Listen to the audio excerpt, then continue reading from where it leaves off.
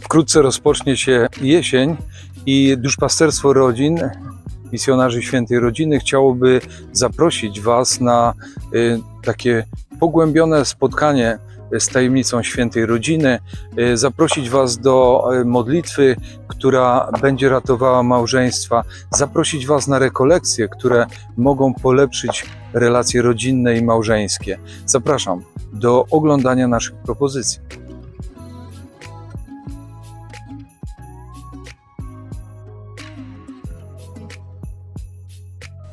Fundamentem duchowości naszego duszpasterstwa rodzin jest e, święta rodzina. Dlatego będziemy szukali pomocy u mocnego, zdecydowanego i opiekuńczego Józefa, ale także będziemy myśleli o tym, w jaki sposób e, poprzez stawiennictwo Matki Najświętszej prosić o błogosławieństwo dla małżonek, matek i dla dzieci.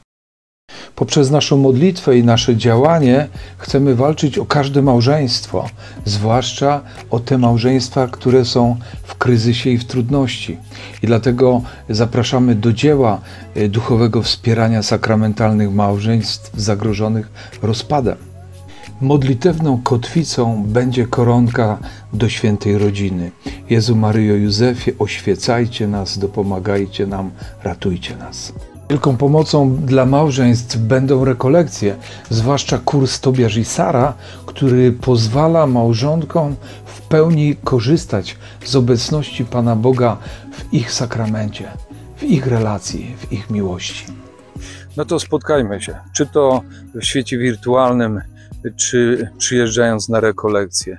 Do zobaczenia z Panem Bogiem.